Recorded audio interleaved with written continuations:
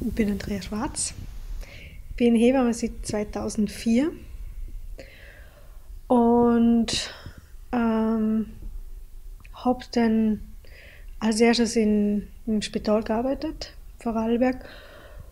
Und nach fünf Jahren im Spitalsbetrieb hatte ich so ein bisschen das Gefühl gehabt, oder habe ich schon einiges gesehen gehabt, so muss ich sagen. Und habe mir eigentlich irgendwie gedacht, da könnte schon ein bisschen mehr drin sein für Hebamme, Tätigkeit, was meine Verantwortung betrifft und meine Aufgaben. Und habe mich eigentlich vom Spital erstmal kurz verabschiedet und bin dann eigentlich bald mal drauf gekommen, dass ich gerne mal Ärzte ohne Grenzen ausprobieren möchte, weil ich mir eigentlich unter diesem, unter der Organisation mir vorstellen haben können, dass ich da als Hebamme so richtig so hands-on, so Hebammenarbeit machen kann. Und das noch in einem Kontext, wo ich als sehr sinnvoll und ähm, wichtig empfinde, in Ländern, wo Menschen nicht den Luxus haben, ähm, in ein Krankenhaus zu gehen und eine sichere Geburt zu haben. Und ja, haben wir gedacht, da kann ich viel lernen und wahrscheinlich auch viel geben. Natürlich bin ich in Ländern wie Südsudan, Afghanistan, Libanon oder Kenia, wo halt ähm, starke Krisengebiete waren oder total im, im Busch drin, wo man einfach keine Ressourcen gehabt haben. Das heißt, medizinisch, wir haben keine technische Geräte gehabt, wir haben keine, oftmals kein OP gehabt, wir haben äh, mit den einfachsten Methoden einfach Geburtshilfe leisten müssen. Und eigentlich so ziemlich reduziert arbeiten müssen und uns auf unser Handwerk, Hebammenhandwerk wirklich konzentrieren müssen und halt auf das vertrauen müssen.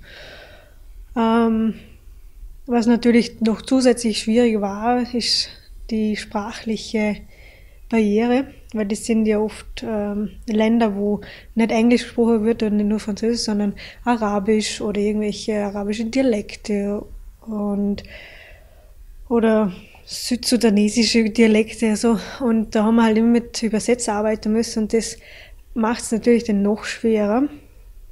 Um die Informationen kriege, die ich als Hebamme äh, braucht, um die Frau dann noch richtig äh, behandeln und diagnostizieren. Und ähm, ja, was schon herausfordernd war.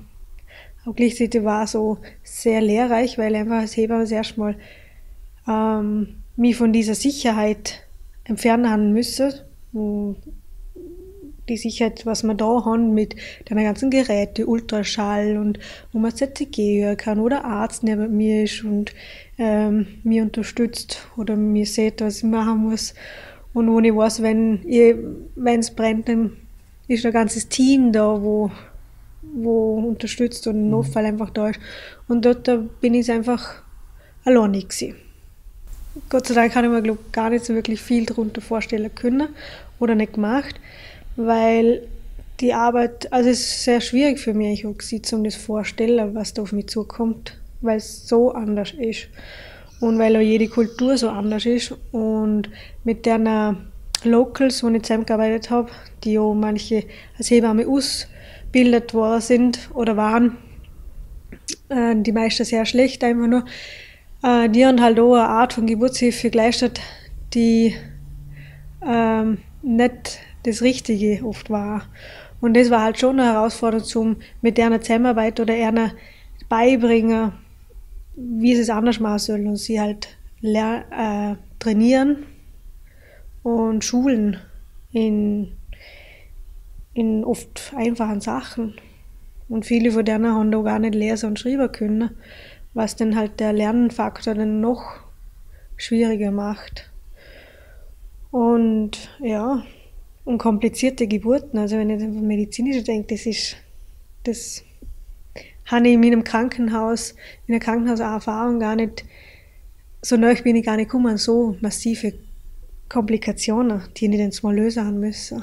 Man muss natürlich immer bisschen vorsichtig sein, weil es die verschiedenen Kulturen halt auch verschiedene Herausforderungen mit sich bringen. Wie zum Beispiel Afghanistan ist natürlich ähm, sehr Männer dominierend und da habe ich natürlich mit meiner Geburtshilfe, also mit der Arbeit als äh, Hebamme, ähm, eher ein einfaches, also eine einfache ähm, Möglichkeit gehabt, zum in der Community da zum helfen, weil, weil das der Frau natürlich geholfen hat. Aber natürlich muss es alles über Mager. Und wenn die Männer das nicht akzeptieren, was wir machen, dann hätten wir da gar keine Chance, zum, zum die Klinik dort öffnen und, und was Gutes tun. Ähm, aber Gott sei Dank ist aber Geburtshilfe sehr geschätzt dort und sind wir eigentlich sehr befürwortet worden und unterstützt von der ganzen Community. Und so war es dann in anderen Ländern, zum Beispiel Südsudan, war es am Anfang die Herausforderung, dass sie eigentlich uns gar nicht so kennt haben. Es war so richtig äh, Flüchtlinge, wo einfach mit weißen Leuten fast nie was zum tun haben. Und da hast du gemerkt, am Anfang haben sie das Vertrauen gar nicht gehabt in uns. Weil die haben einfach ihr System kennt, mit ihrer äh, traditionellen Geburtshelfer und der, die haben sich sehr schwer am Anfang, äh, uns Wissen, uns westlichen Wissen zum Vertrauen ins Spital kommen und bei uns zum Entbinden. Mein erster Einsatz war in Afghanistan, was eigentlich, ähm, mir, da bin ich mit gemischten Gefühlen zurückgekommen. Es war nicht alles gut, war sehr schwierig auch für mich, weil einfach diese Umstellung oder diese Erwartung, ähm, die Aufgabe an mich, ähm, da war ich einfach ein bisschen schwer am Anfang. Ich gemerkt, ich habe so viel Verantwortung gehabt, ich muss ein ganzes Team Schulen leiten, ganze Kreissaal neu aufsetzen. Und, ich habe auch Gynäkologinnen, war ich zum Mal die Chefin von denen.